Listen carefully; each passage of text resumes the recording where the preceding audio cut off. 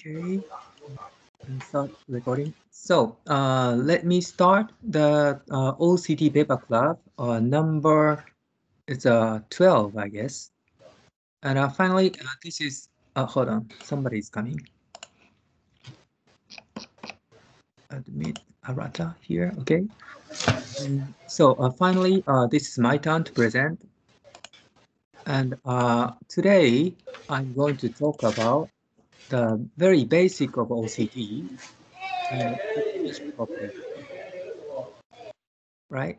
And uh, so it's a very basics, but uh, uh, here through this presentation, I would like to clarify some hidden hot topic of uh, recent OCT activity, right? Okay, somebody. Is it? Uh, is it Chantier?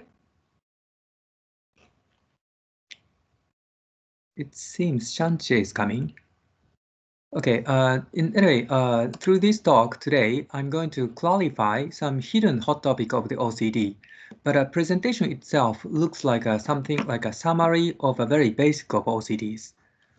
Okay, uh, let me share my screen and let me start my presentation. Hold on.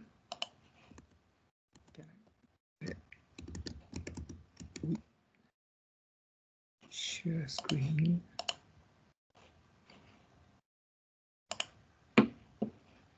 Okay, uh, can you guys see my screen? Yes. Yeah. Yeah. Okay, so uh, let me start my presentation. And uh, this talk was ori- uh, originally, um, say, structured for a kind of imaging symposium in uh, Optics Photonics Japan meeting. And that was a symposium to talk about uh, the imaging theories and the imaging property of uh, several types of microscopy. And in this symposium, we treated the OCT as one of the microscopic modality.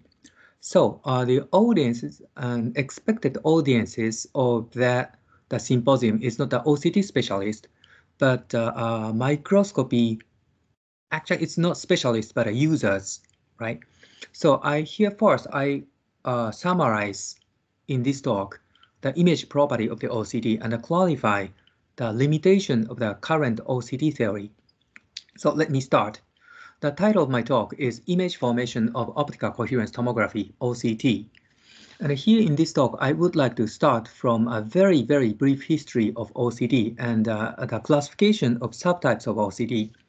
And then going to go to the, uh, hold on. Well, then I'm going to uh, go on the basic OCT imaging property and then explain how to improve the imaging performance. Uh, hold on, give me time. Okay, and then uh, as an extension of OCT, not only the improving the basic property of the OCT, uh, resolution of or and the signal to noise ratio, I'm also going to talk about the extension of OCT contrast. And then I'm going to talk about uh, why we need to revisit the OCT imaging theory. As a, a, brief history of the OCT, here is uh, only one slide, uh, but the, maybe some of you, or almost all of you, knows about the epoch of OCT. It was in 1991 in MIT, and uh, Professor James Fujimoto and uh, David Huang are main guys to develop the OCT. And here is a very early OCT image taken from the first paper, Science 1991, and it is uh, ex vivo porcine retina. And uh, till maybe on around 1998 or 2000, OCT directly uh, directly meant the time domain OCT. Here is the first subtype and the original subtype of OCT. And it is a point detection system. And to obtain the two-dimensional cross-sectional image, you need to scan the sample mechanically two-dimensionally. So it results in a long measurement time and uh, it results in relatively low sensitivity. Um, but in any way, the time domain OCT itself was successful for the retina imaging. But as the time domain OCT became successful in a clinic, there was uh, another wave of the OCD, uh, OCT development. That was Fourier domain OCT. It was around 1995 to 1998. The Fourier domain OCT is uh, uh, in, con in contrast to the time domain OCT. Fourier domain OCT, FD OCT, is a line detection system. So by a single shot, you can measure the two-dimensional image. Uh, sorry, uh, by a single shot, you can take a one-dimensional uh, depth resolved data. And by using a one-dimensional mechanical scan, by using Galvo scan, you can take a two-dimensional image. So uh, this modality is associated with a high optical efficiency.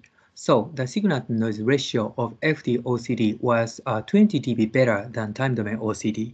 And it also results in a high-speed measurement. And this high-speed measurement can be used for three-dimensional in vivo tomography. And this domain OCT also can be classified into two subtypes. The one is spectral domain OCT, which is a combination of the broadband light source and a high-speed spectrometer. And that is particularly useful for the probe wavelength shorter than one micron because, um, say, it is easy to build a good high-speed spectrometer with silicon camera uh, for this spectral And the silicon only has the sensitivity uh, to the wavelength shorter than one micron. So what you should do uh, if you're interested in to use a longer wavelength probe. And for this, there is another subtype of OCT, FD-OCT, that is so-called a swept source OCT.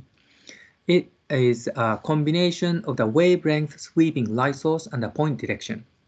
Um, but in anyway, the spectral domain OCT and the swept source OCT, uh, both of them are based on the same mathematics. It's a Fourier transform.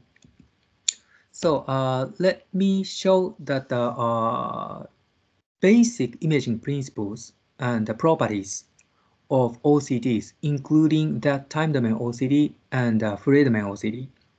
So to think about the structure resolving principle of OCTs, we need to first separate the axial issues and the lateral issues because OCT uses a totally different principle to resolve the axial information and the lateral information sorry. Uh, for the axial resolution, OCT uses a low coherence interferometry. And uh, this low coherence interferometry can be subdivided into two subcategories, as I've already explained. It's a one is a time domain OCT, and the other is a spectral domain OCT, or spectral interferometry. For the lateral resolution, OCT uses actually two types of resolution principle. And the most major one is a point scanning, it is somehow similar to reflection confocal. And the other is the full field imaging. It is somehow equivalent to a spatial, uh, sorry, this, uh, sorry, sorry. And the, uh, the second lateral resolving principle is full field imaging. And it is further subdivided into two. One is a spatially incoherent imaging, and the other is spatially coherent imaging. And these two again has a slightly different imaging property or resolution property lateral resolution property. In addition, there is something in between to the point scanning and the full field. It is line field imaging.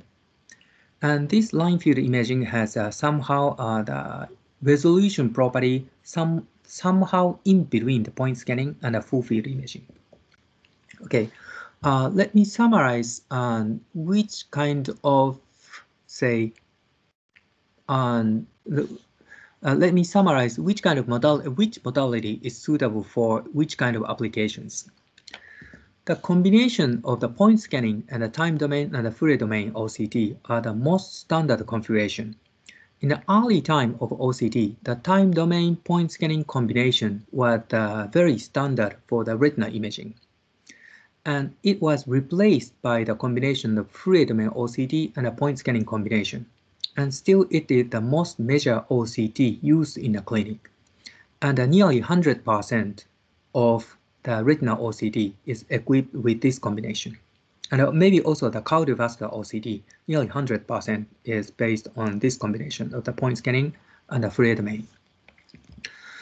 And in contrast, the line field imaging and the full field imaging has a very good property of high speed uh, sorry, the combination of FD-OCT and the line field, full field has a good property of high speed. So it was used for the quick and repeating volumetric imaging of the in vivo samples. In comparison to, to them, uh, still the combination of time domain OCT and the full field imaging attracts uh, the interest of researchers because it can have a very high lateral resolution And uh, I'm going to uh, come back to this point later, but uh, this combination has a very good property of less speckle. So uh, before going to the next step, uh, let me explain the very, very basic of OCT, uh, mainly for the new guys who are going to join to my group, group maybe in the next month or the month after the next month. Okay, the time domain OCT is essentially a low coherence interferometer.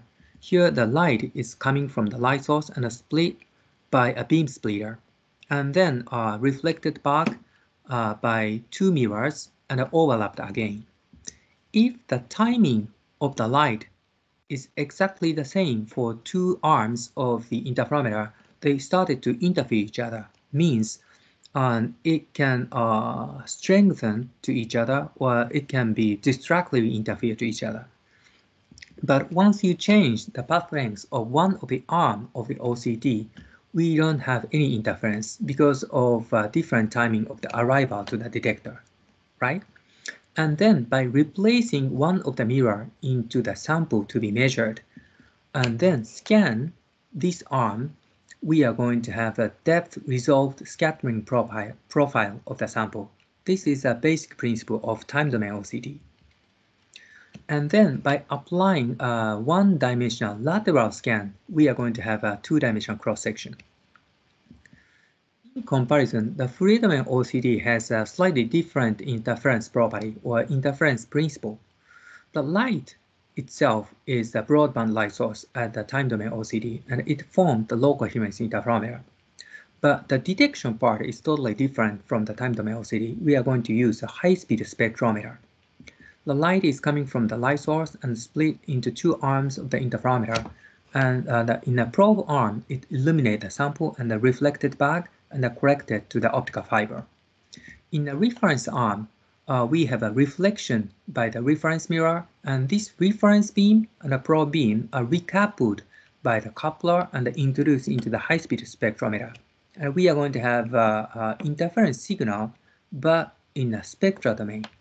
And this spectral domain uh, interference signal is digitally signal processed and uh, gives us a one-dimensional uh, depth, one-dimensional profile of the scattering of the sample.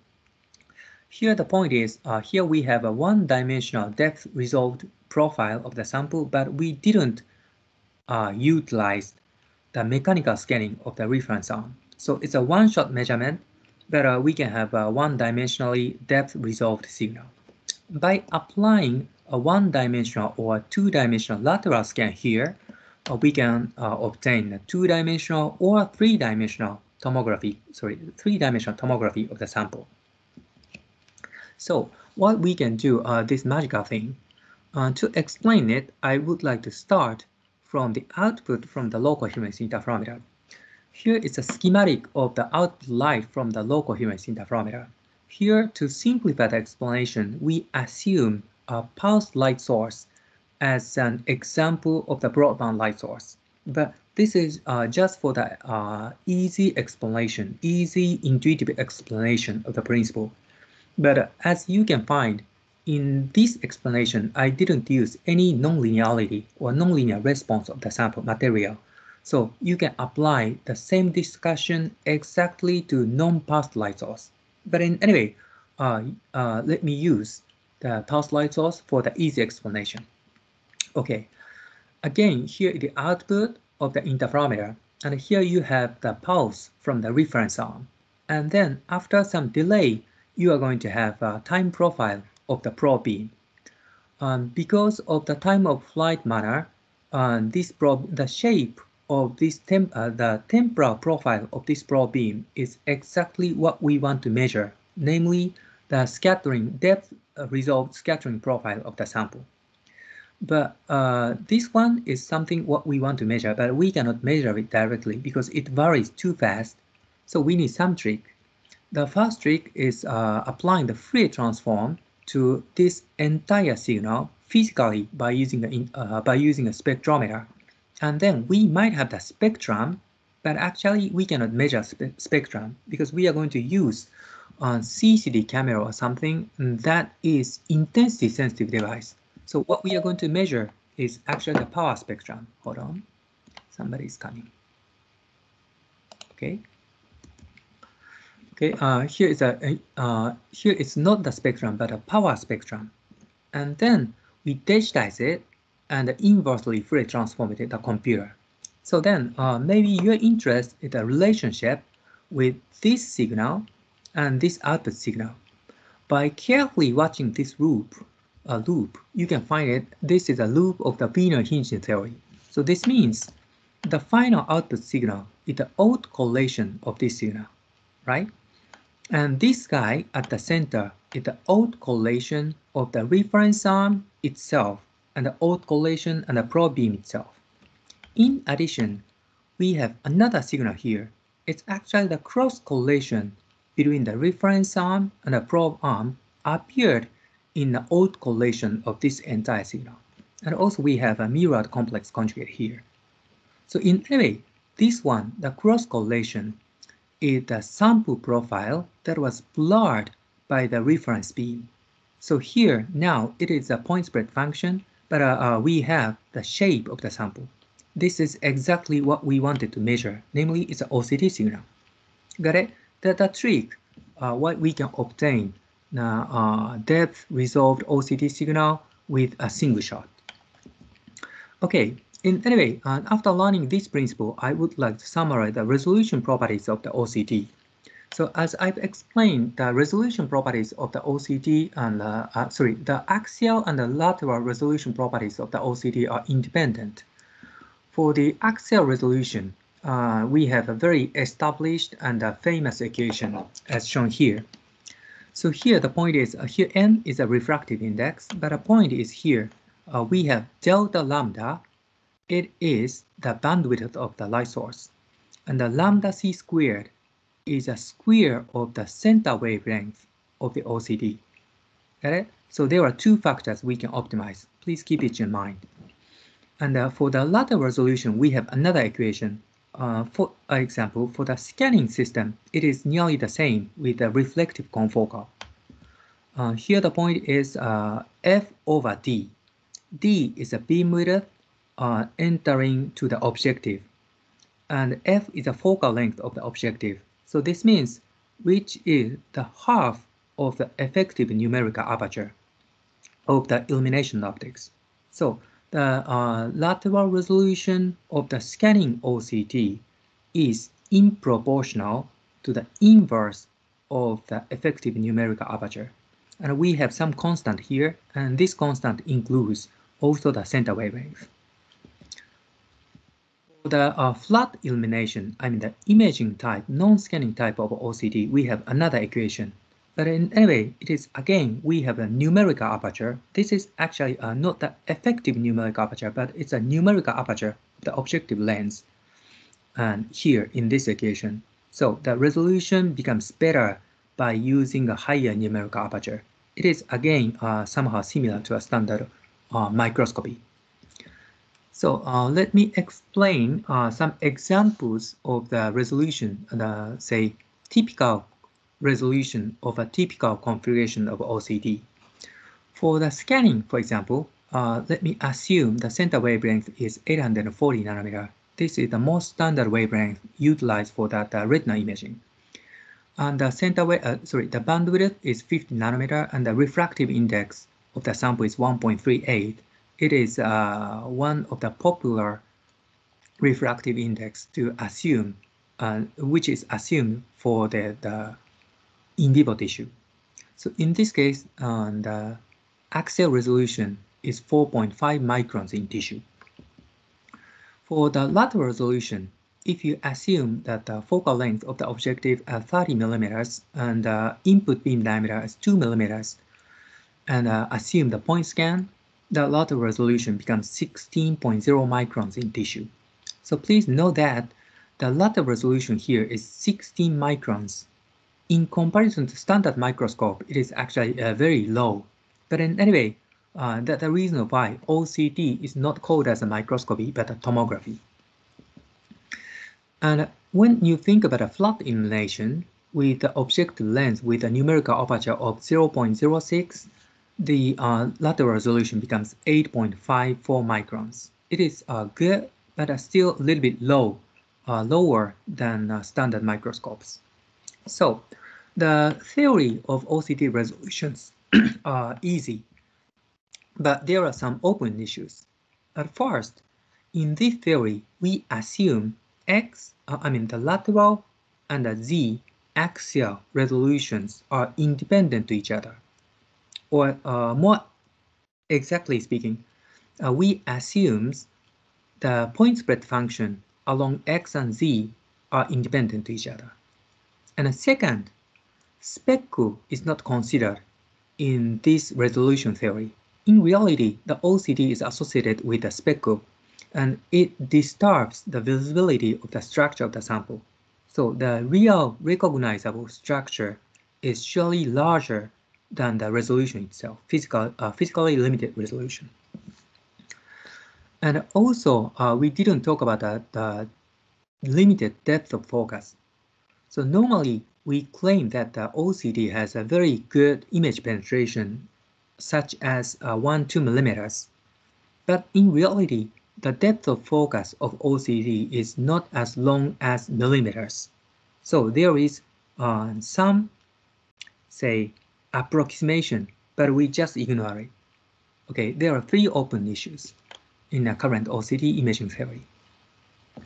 Okay, uh, through this talk, I'm going to talk about uh, the one these open issues one by one. The first point is the axial lateral interaction. Now, so far, there was not that much big problem with the axial lateral interaction. But uh, when you are going to go to a high NA numerical aperture to achieve high lateral resolution, this axial lateral interaction becomes severe.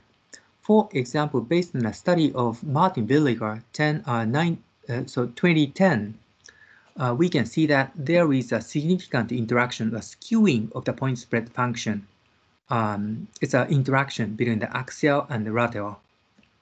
Got it? So uh, the point here is uh, if the numerical aperture becomes high for the high lateral resolution, we cannot ignore the axial lateral interaction. And then the second point is the speckle. OCT is a coherent imaging modality, so it is uh, the speckle is inevitable. And the speckle size in theory uh, is nearly the same with the resolution itself. So it limits the structure visibility. And actually, uh, the real structure we can see in the OCT image is a recognizable structure. The real recognized structure size in an OCT is larger than the OCT resolution. So surely it is our interest to reduce the speckle by signal processing, for example. Uh, the most standard and powerful method is averaging. And also there are some sophisticated statistical image processing methods, right? But anyway, actually the averaging is very powerful, simple and powerful. So uh, the, currently the dominant way to remove the, the speckle is averaging. In, uh, on the other hand, speckle uh, can be even actively utilized for extract more fine information from the OCT. For example, by analyzing that uh, speckle uh, we can have uh, two-dimensional elastography. And the other very, uh, say, famous, currently booming modality is OCT angiography. Uh, this analyzes the temporal fluctuation of the speckle and uh, extract the region with flow in a sample. So by the way, uh, sorry, uh, so the point here is a practical resolution cannot be described by a standard theory. This is a limitation of a current OCT imaging theory. So by the way, uh, there is an OCT method that is uh, in nature free from speckle. That is incoherent full field OCT. So in a case of incoherent full field OCT, uh, the recognizable structural fineness is nearly the same with, uh, with its physical resolution. So that the reason of why actually the incoherent full field time domain OCT was widely used for OCT microscopy. Uh, OCT microscopy is a, a, microscopic version of OCT, literally. Okay, so then uh, what we can do uh, to overcome these issues.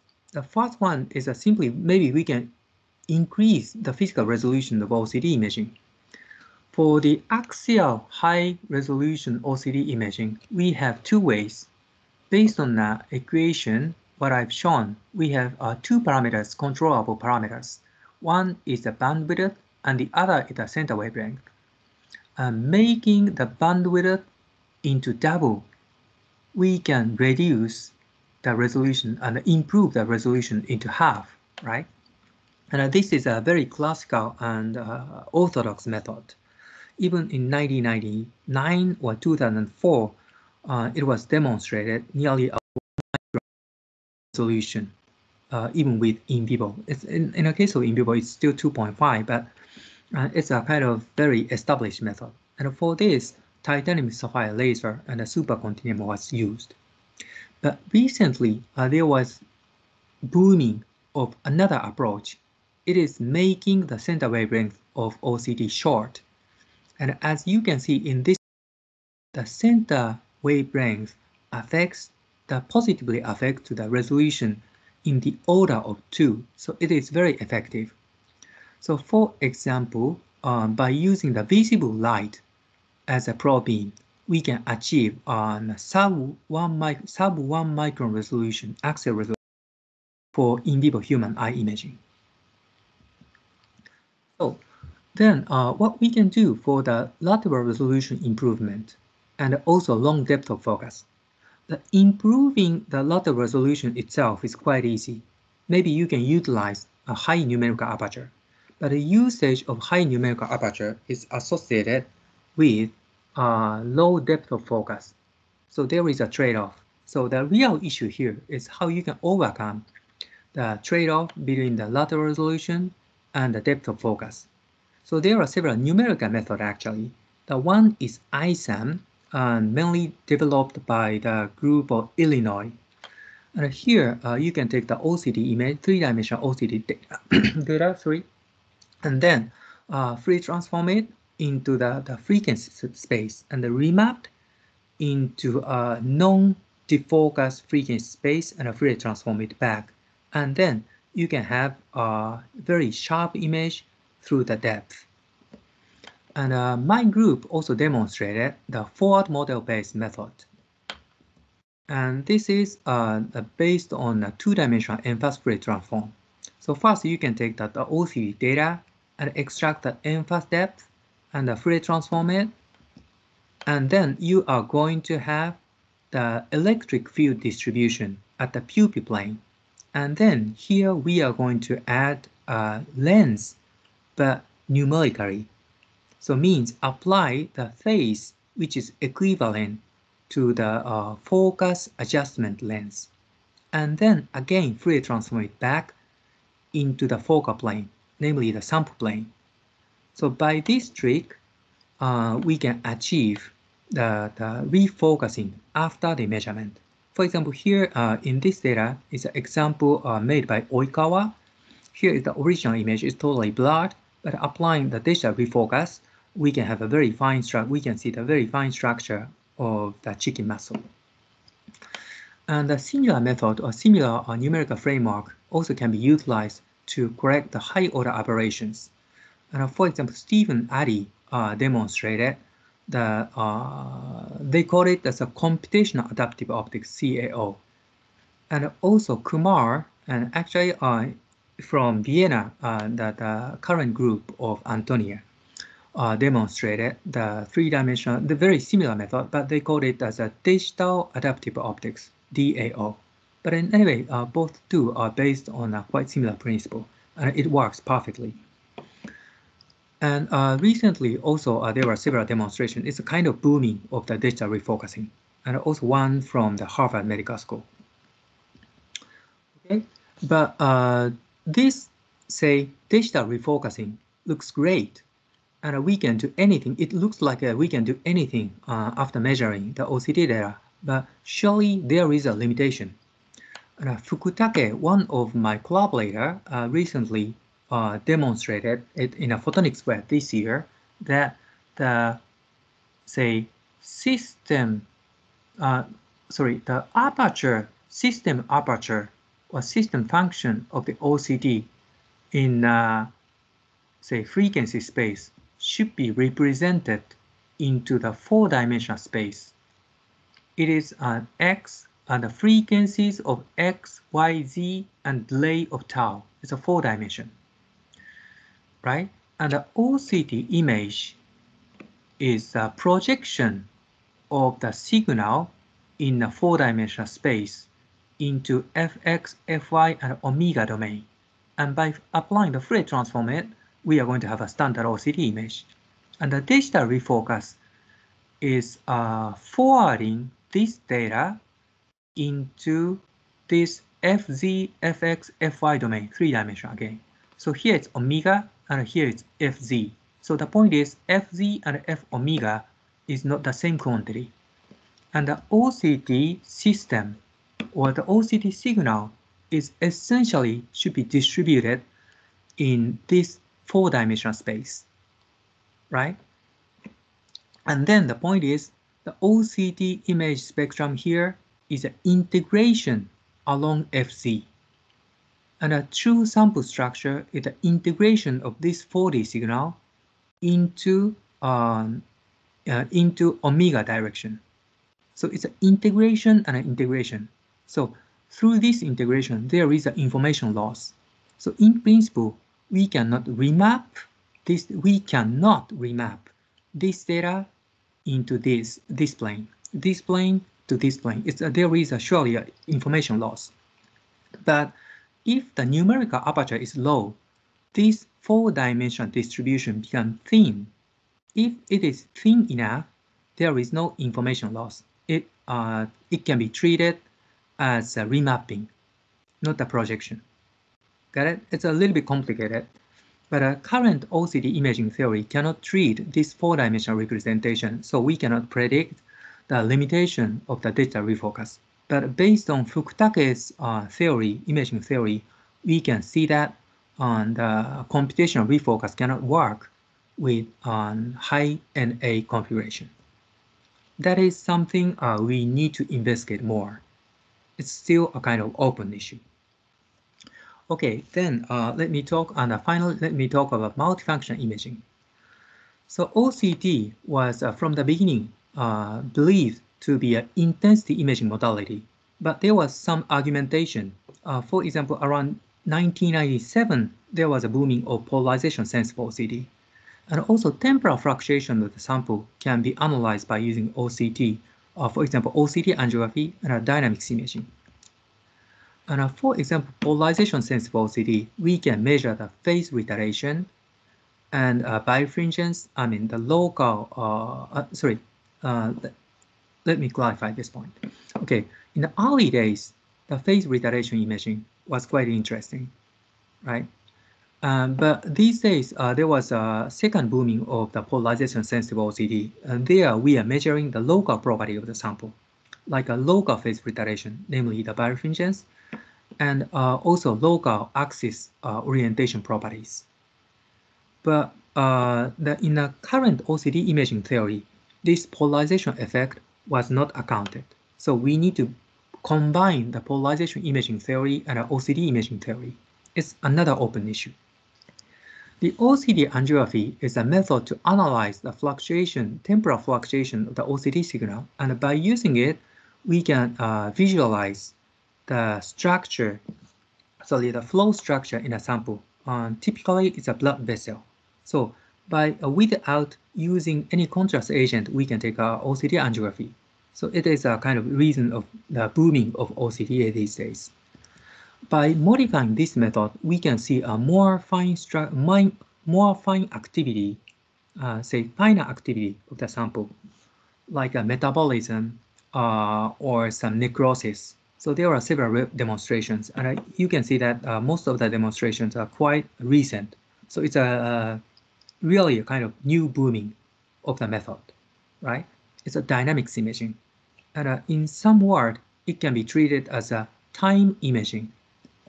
But we don't have an imaging theory to uh, express the time imaging property. For example, how fast uh, dynamics we can measure. We have no um, theory to predict it. So we need to modify the OCT imaging theory. Okay, so finally, uh, let me conclude my talk. As a conclusion, finally, I'm going to talk about the background of this talk. So it's a little bit tricky uh, structure of this presentation. I've started from a matter of facts, and finally I'm coming to the uh, real background of why I started to think about this. So my question is why we, uh, okay, my point is we need to revive the OCT imaging theory and why. And actually, uh, there was a booming of uh, drug discovery of region and uh, regenerative medicine. And for these applications, uh, they are interested in uh, thick tissue culture like a spheroid and organoids. And also um, effect, for the effective animal study, we need a good microscopic modality uh, which can measure the ex vivo tissues. And for these ex vivo tissues, uh, there are several requirements for the modality. The one is it should be label-free, uh, but without any contrast agent, it, it should be capable of visualizing the tissue dynamics. And also it should be capable of uh, measuring or imaging the deep tissue. And a standard uh, microscopy has only the penetration of few hundred microns and it is not sufficient. So we need other modality. And also we want to achieve the uh, high axial and lateral resolution even at the deep region. So for this, uh, also we need to use OCT. But again, standard OCT is not sufficient. We need OCT microscopy, but uh, even standard OCT microscopy is not sufficient to fulfill all of these requirements. So what we can do? For the label-free imaging, we can use uh, dynamics imaging. For deep tissue imaging, we can use holographic refocusing or adaptive optics. And for the axial and the lateral high resolution imaging, uh, sorry, uh, sorry, sorry, uh, there is no one one-to-one -one correspondence. So uh, for to fulfill all of these points, we need uh, several techniques, like uh, we need to use a high NA and a holographic refocus, and we can observe the axial lateral interaction. We need to think about it. And also, we need to think about multiple scattering in a deep region. This is resulting in a speckle.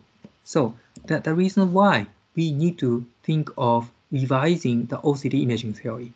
And this is, I think, now the hot topic of OCT, but still it's a hidden hot topic and only a few people are interested in. Thank you for your attention. Okay, uh, thank you for attention and uh, maybe the presentation is uh, open for discussion. Please come up. Uh, I have uh, one point that I don't quite understand. Mm -hmm. uh, as you uh, introduced the Kutake sensei's uh, theory, like uh, the OCT imaging uh, can be described as uh, integration along FZ or omega direct uh, axis. I mean, so uh, when you mentioned about this, you said that uh, uh, during the integration, the the true OCT signal becomes thick, so there might be some signal loss losses. Okay, let me go back to this slide maybe. Hold on.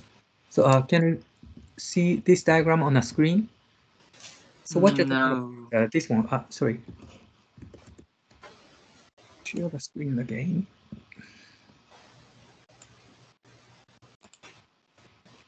What you're talking about is the, this diagram, right? Yes. Uh, so here uh, is a four-dimensional frequency space. Yes. Right? And this axis is a two-dimension of fx and fy. So uh, for that uh, visualization purpose, I used uh, one shrink axis. Mm. But uh, this one is not one dimension, but for two dimension. And this axis is a frequency along z, depth, spatial frequency, mm. right? And uh, this axis is omega, it's a wavelength. It's a tricky point. So in a standard OCT theory, uh, Fz and omega are treated at the same. Right? Uh, wait, uh, uh, yes. Uh, in uh, for example, by uh, Fourier transform along omega, we are going to have uh, depth, depth yes. result image, we believed. But in reality, it's not the depth, but delay. Delay, yes. Delay and the depth are not the same. And uh, this uh, axis is actually the depth. So these two are not the same like a similar like uh, uh say uh Fourier transformation of z and fz and xy to f fx fy. Yes. That kind of yeah. That's... And uh, what we really interested in is uh, this FZ, FX, and FY, right? Yeah. And this one is a real structure of the image, three-dimensional image space, uh, yes. three-dimensional sample space. Yes. And a free, uh, actually, it's a Fourier transform, but a three-dimensional uh, sample Fourier structure space. But here, this one is the image space. It's it's fx, fy, and omega. By Fourier mm-hmm. transforming it, we are going to have a x, y, tau. It's a delay, not z. This, uh, this one is a standard OCT, right? Yes. And then what is the relationship between this true sample structure and this OCT image structure? Okay, this is the one point, one, the first question. So how we can think about it? So here uh, you can see some the uh, red region here, right? And this red region is a system aperture. So all of the signals we are going to measure by the OCT should distribute within this aperture. Yes. Yeah, but this is uh, this is the signal which can contribute to the OCT images. But this doesn't necessarily mean we can resolve all of this information.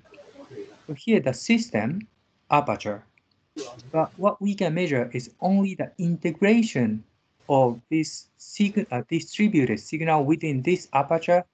Uh, sorry, uh, let me restate. So all of the OCT signal should be distributed in this four-dimensional aperture, right? But what we are going to measure is only the integration of this distributed signal along FZ. Got it? Yeah. So it's an integration means the information of the distribution along FZ is disappeared. It's integrated out. Mm -hmm. Got it? So essentially, OCT captures the information in this four-dimensional aperture, but what we can finally measure is only the integration along FZ. So the FZ and the uh, signal distribution information along FZ is disappeared already. But yeah. here, this is something we can measure, right? Yeah. And then the uh, our problem is how we can retrieve the information of the real sample structure. is here, right? right in the image and in, a, in this diagram. Yes, yes. Retrieve this information from this information we've measured. Got it? Mm. So then, uh, then now you can assume uh, if we are using a low numerical aperture objective, this four-dimensional distribution, I mean the aperture, becomes very thin, right?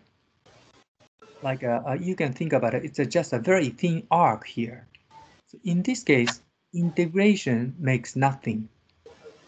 So what you need to do is uh, just remapping. So for example, starting from this and going to this and hitting uh, here in the shell and uh, say remapped into here. So there is, uh, ah. in, in, this case, we have a one-to-one -one correspondence between these two planes. So I see. Case, if we can uh, clearly say describe, theoretically describe the shape of this uh, thin shell, we can transfer this data into this domain. And after doing it, we can Fourier transform it. And then we are going to have a, a very sharp image along the depth. That is actually nearly the same with ISAM. Got it? Yeah. And uh, our uh, forward uh, model-based method also based on the same assumption that NA is uh, is low and this four-dimensional aperture is thin. So in this case, actually, we can uh, do the same operation by applying the phase. Yes. So uh, that the reason of uh, actually under applying the phase and the remapping it uh, based on I uh, okay the, in a say forward model, we are applying the phase and for the ISAM, we are doing a remapping, but both of them are based on the same model and the same assumption. Uh, it, the model is not uh, not exactly the same, but the same assumption. So the limitation is the same. Yes. And in my understanding, that is the reason why what Kumar found in 2014 in uh, Optics Express, Biomedical Optics Express, the comparison. Uh, ISAM and a forward model-based method has a similar refocusing performance. So on the surface, ISAM looks like more exact than a forward model, but in reality, both of them relies on the same assumption. So the limitation of these two methods are nearly the same.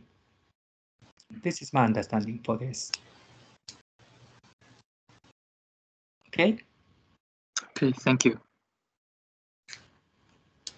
Okay. So do you guys have uh, any other question?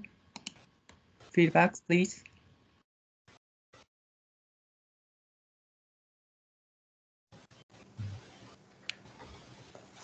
Hello? Yep. Uh, this is Sanjay. I think it's a great talk. Thank I you. I just want to comment that um, in the first, probably in the second slide, mm -hmm. the comments like, um, um, sorry, probably the, uh, let me check. Can you scroll down? One more, two more, uh, about the um, the classification of the OCT system depends on where it's, uh, yeah, yeah, that's this one. I think I want to comment, um, yeah, sorry, previous slides. This one, yes.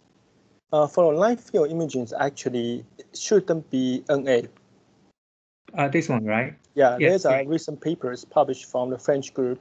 Yeah, um, actually, uh, Makita also pointed out, and I yes. corrected.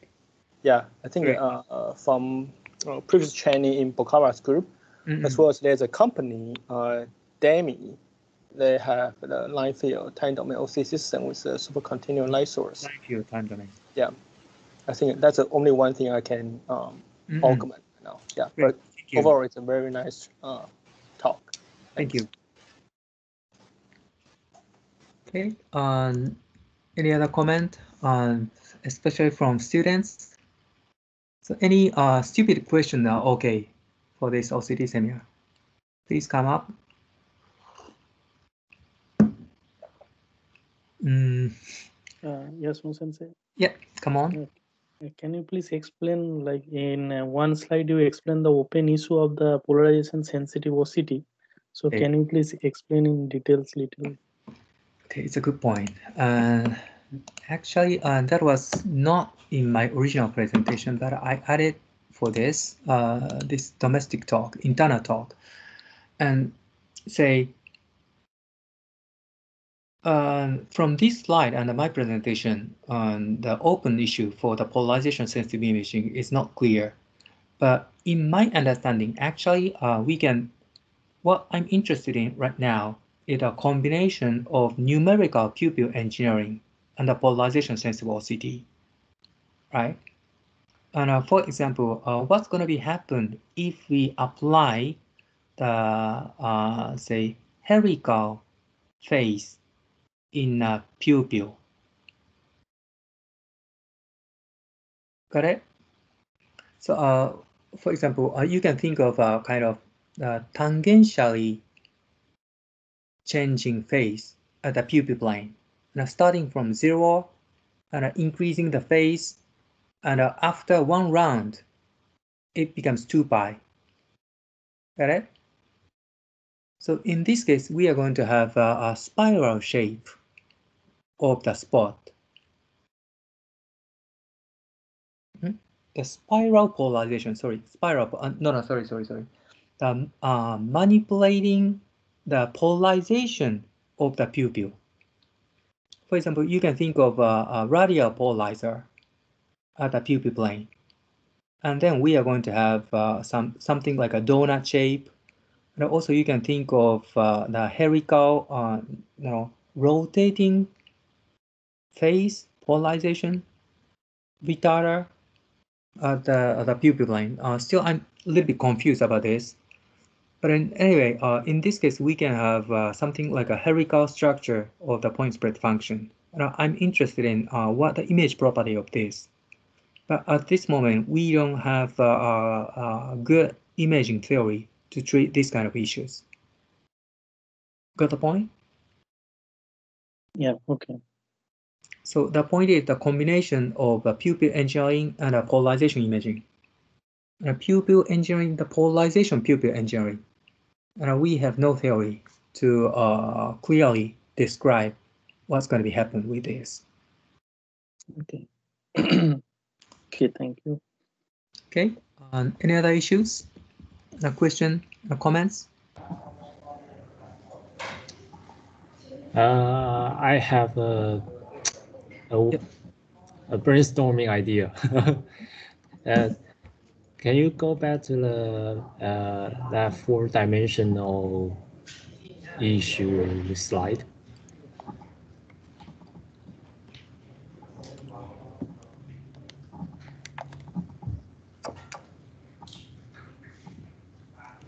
Yeah. Uh, this one, right? Yes. Mm -hmm. uh, I'm wondering, uh, do you believe we can maybe use like GAN model to to overcome this kind of modeling issue? Uh, you mean a G? Uh, you said a GA. GAN, uh, generative adversarial network.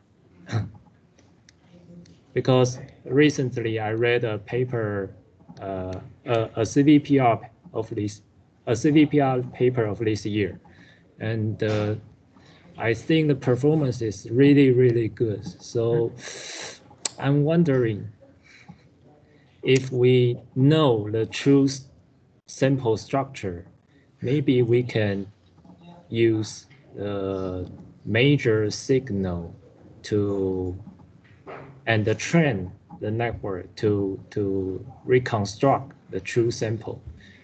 Actually, I'm half positive and half negative for this idea. Mm -hmm. So uh, let me explain uh, my way of thinking of the neural network things, right? Mm -hmm. uh, the neural network image reconstruction can be classified into two types. The one type is uh, the one using the sample structure knowledge. Mm -hmm. uh, most of the demonstration, the recent demonstration of a combination of neural network and OCT are in this category. And uh, in my group, for example, uh, what Dongwoo is trying to do is this one, using the sample features and uh, using it as a knowledge and to regenerate the image based on that knowledge, right? Mm. And the other category I especially interested in is uh, uh, analyzing the information which is essentially carried in the OCT image and extracted. Mm. So the information already, in this case, the information already carried in the OCT image, but we have no way to extract it. Mm -hmm. And the example of it is a Prowse method of the speckle analysis, for example. Uh, uh, the scatterer density information should be possessed in the OCT image, right? Mm -hmm but uh, we have no way to extract it. The fourth problem is simple. There is a scatterer and uh, there is a interference, the mutual interference by the scatterers, the light from the scatterers, each scatterers. And then we have a speckle. So it's a deterministic process. But extract the scatterer information itself, we have no way. Mm -hmm. in this case, that the information should be possessed by the OCT already. But we don't have a way to extract it. So we are going to train the neural network to extract that information. So that is uh, something in a way I'm particularly interested in. And uh, what Oikawa is doing is something similar. So what Oikawa is doing is uh, generating the DOPU image from an OCT image, right? Mm. But in this case, what I'm uh, particularly interested in is not the RP segmentation, but uh, the neural network, train the neural network to analyze the speckle pattern to extract the information associated with the multiple scattering and uh, knowledge, and uh, maybe also the VNS knowledge, the, the DOPU is associated with the multiple scattering. So in this case, maybe we have uh, some, say, speckle property or the scattering property in the OCT image, not polarization sensible OCT image, but a standard OCT image. Hmm. And, the, and the information exists there, but we have no way to extract it. Mm -hmm. Right. The only one way right now is uh, using the polarization sensitive OCT. But uh, maybe we can extract the same information from a standard OCT, but we don't know how we can do it. So in this case, we can train the neural network to find the method to extract this kind of information, right? Mm. So uh, from this passage, okay, so there are two methods. Uh, one is uh, uh extracting the information uh, which already possessed in the signal, but we have no way to extract it. And the second way is that uh, generating the information which is not possessed in the sample. In this yes. case, the neural network relies on the knowledge, right? It's, it's not a, a real analysis, but uh, making the image based on the knowledge of other samples. Hmm. Uh, what I'm particularly interested in the first class. Got it? So the point is here, uh, when we think about it, um, if, uh, uh, okay, there is, in, in this diagram, there is a significant information loss because of the integration already. Yes. So the uh, second class cannot be implemented because information has already been lost in theory. So the GAN maybe uh, can create the sharp image, uh, but in this case, uh, okay, GAN can make a high resolution image from the blood OCT image, but it's a kind of uh, deep learning microscope. Hmm. The uh, deep learning neural network can remember and extract the knowledge of a high resolution image and then use it to reconstruct the high resolution image from the unknown image, unknown blood image. Mm. So in this case, uh, the approach is exactly the same with a deep learning, a deep learning microscope. But uh, based on this theory, what we can do is this is not the real measurement, but it's a kind of image generation. And again, it's surely the image generation, but anyway. yes. So maybe uh, somebody can do it, but maybe it is out a little bit out of my interest. Mm -hmm. So what I I'm see. extracting the information which is already uh, possessed in the OCT image, but uh, we have no way to extract it. Mm. Okay, and, and, and anyway, uh, thank you for your feedback. Uh, thank you. Okay, um, any other uh, comments, question?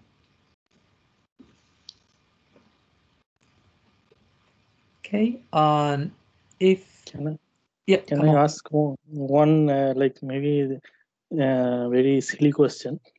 Like I want to ask, like in one slide you uh, show like the averaging to remove the speckle, and uh, and some uh, applications like OCT, uh, angiography, and elastography use the speckle information.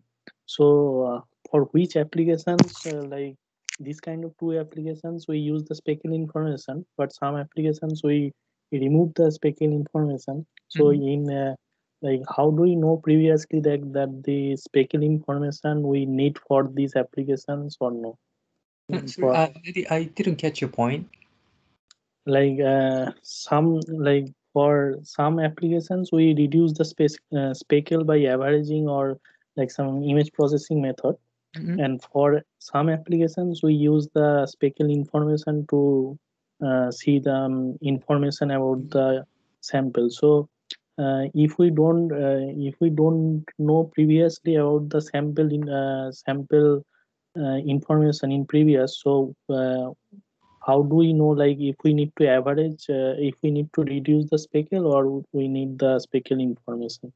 Uh, no, no, it's uh, not the issue of need to do or something. So simply we can do both. The speckle, and uh, the point is that there is a multiple images, right? So if you have two images, you can compute the mean and the standard deviation, right? Now each order of uh, momentum carries a different types of information. So if you compute the uh, first order momentum of multiple images, namely the average, it gives you a static property of the sample. Uh, yes, it's yes. A, a mm. averaging speckle reduction, right? Mm. And if you compute a standard deviation, you can have an OCT angiography.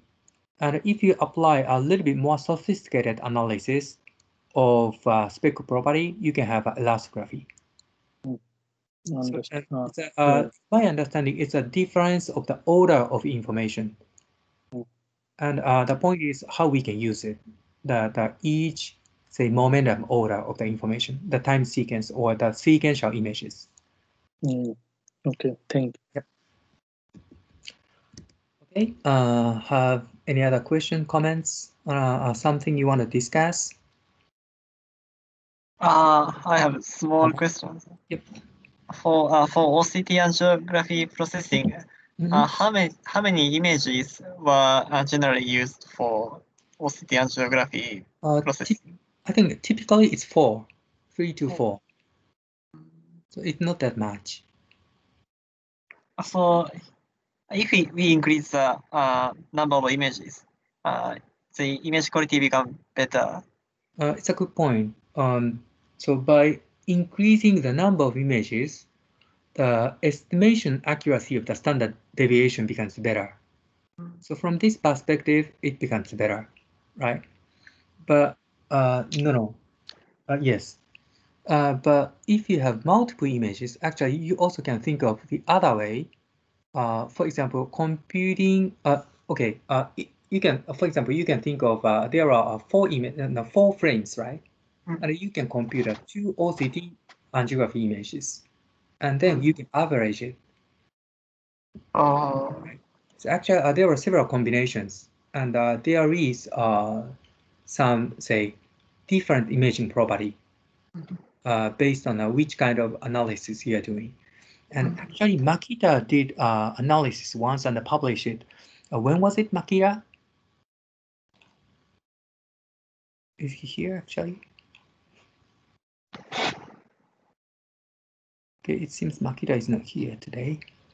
Mm-hmm. Okay, uh, but anyway, uh, actually, you can check the paper from Makita. Mm -hmm. Uh, it's Optics Express. Okay. And uh, also uh, the OCTA and the dynamics imaging are closely related. And uh, for this, you can check the recent publication of Ibrahim, the discussion part. Uh, so actually, uh, there are two issues, uh, no, two parameters you need to think of: the number of frames and uh, uh, time window. Okay. Right. Also, actually, this is uh, associated with uh, what Ting Hao is doing with Shanjie. But it, it's not published yet. I think uh, he is now working for the revision of the paper. But actually, there are multiple factors which can uh, which can affect to the image quality of OCTA. Mm. Okay, uh, any other question, comments? Okay, so uh, it's already uh, over one hour of this time. So uh, let me close uh, today's talk. Thank you very much, guys. Uh, Thank you. Thank, you. Thank you. Thank you. By the way, Thank uh, you. Did, we, did we define who is the next? It's me. Ah, okay. So then uh, it is going to be the next week, right? Yes. The seventh. And you Yes. are the final person uh, we defined. So after Kiriko, who is the presenter? We didn't define it yet, right? Maybe. Yes. Okay, so who can do it? So uh, almost all of you here has already been done, right? Maybe we need to think of a second round. Okay, uh, I will think about it and uh, send you the message personally, maybe first. And then uh, we will make an announcement later. Got it? Okay, uh, so uh, uh, by the way, um, is Can you hear? Kaishi is here, right? Maybe Tenyu, uh, Tenyu is here today. Okay, uh, can you give a short presentation? Maybe 14th of December. Yeah, I can try. Okay. Then uh, after after Kiriko, maybe Tenyu can give us a short review. Okay, so uh, thank you very much and uh, see you next week, guys. And uh, See maybe, you. Maybe Shantie, see you soon in a conference. online. But see you. Yeah. See you. Okay. So see you guys. See you. See you. See you. Two. See you. See you.